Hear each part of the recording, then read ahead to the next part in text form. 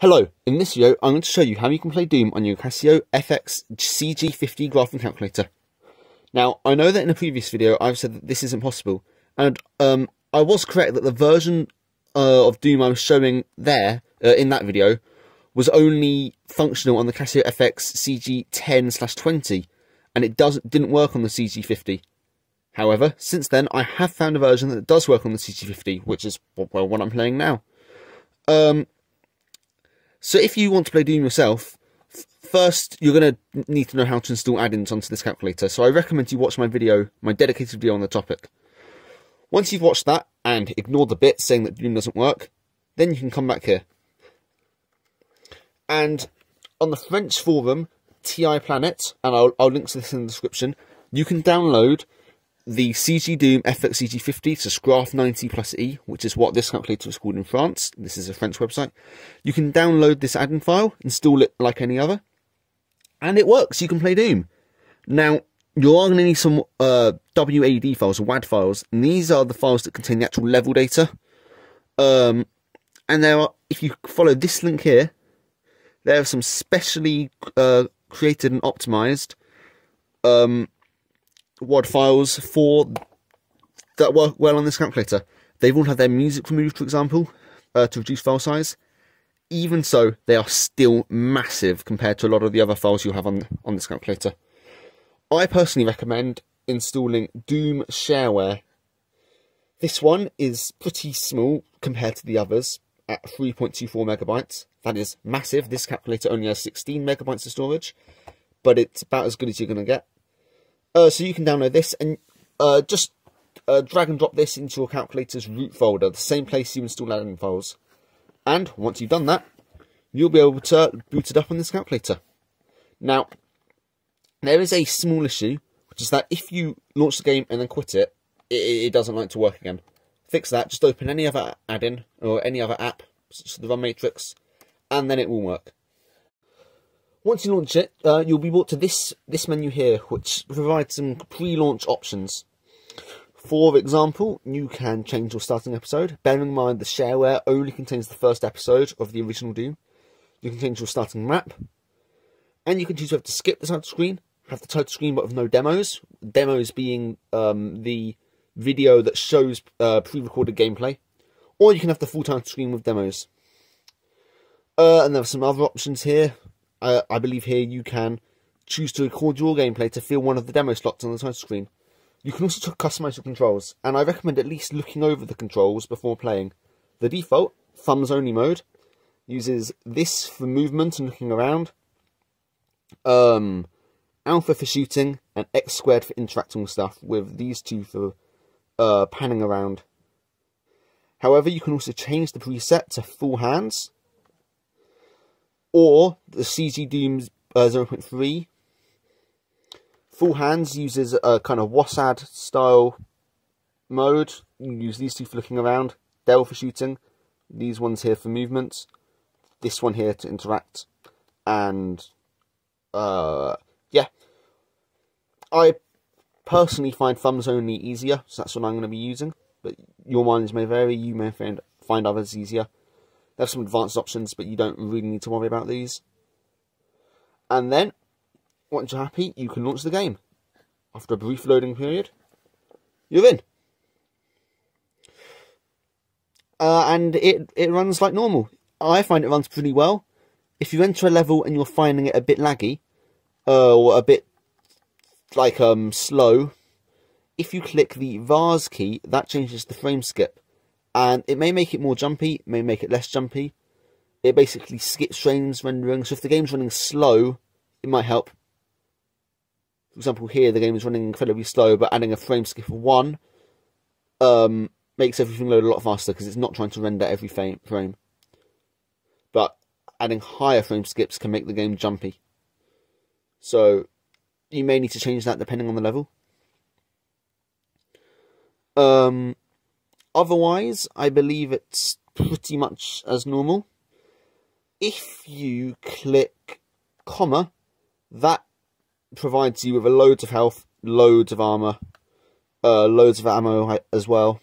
That's a bit of a cheat. And if you click this key here, the right hand arrow, that enables um, no clip. So that's can be quite helpful if if you like cheating, if you just want to get through a level. But it's of course much more satisfying to play without using either of these. Um. Okay, I'm going to quit the game, relaunch it, and try and beat the first level properly. Uh, I have got to level 4 legitimately, without cheats, on the default difficulty that it boots you into. But we'll see if I manage this now.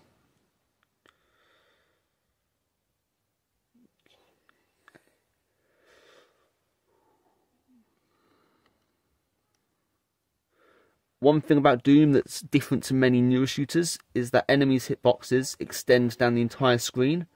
You can't look up and down in Doom by um without changing configs and modding it and stuff. Um, certainly not on the calculator.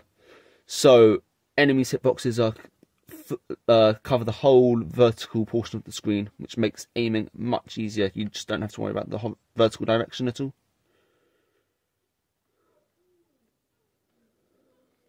Okay. Got the armour. That will make things a bit easier going forwards. Although my health could be better.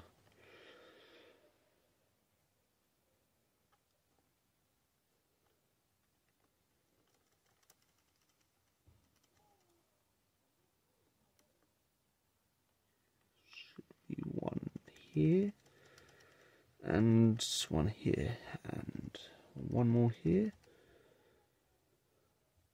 There's one more behind this thing, but I'm going to grab some of the armor bonuses scattered around, pick up some additional ammo, and then make my way around. And there is an armor bonus here, yep. Okay, this is the slightly challenging portion now. Take out them. You can see quite far away there are those enemies that... Oh dear, I hit the wrong key. There are these enemies that throw the, the fireballs. They are a pain to deal with on the calculator. In fact, I genuinely might just try and ignore them.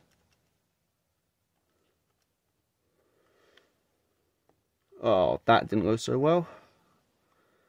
Okay, I remember there's the secret area here. With health, very handy. And mm, my health is a bit low. I'm not sure I'm going to go for that armor.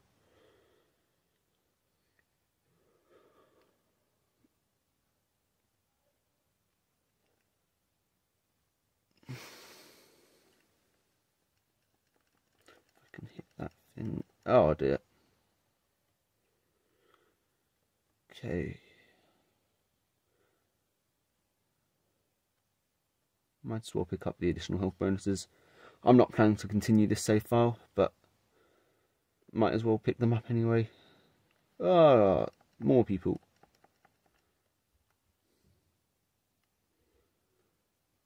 Oh, hello. Don't kill me, please. Ooh, that is close hopefully I can defeat this guy. Yep. And make my way into the next level. There we go. So, what's that? 92% kills, 65% items, 33% secrets. Time, 3 minutes 24 with a power of 30 seconds. Okay. Okay, so you can click menu to bring up a menu, and then you can save. I'm going to save into slot 2 here and just call it, just call it B. Uh, and it will create that save file on the next exit. You can load saves. So if I load my main save, you can see that I'm on this level. And then when you're ready to quit, you can click, you can select quit game. Exit uh, again. If you've chosen to save, it will create the save file and then you're back on your menu screen. Okay, I hope you find this video useful, and I hope you have fun playing Doom. Happy birthday, Sam, and thank you for watching.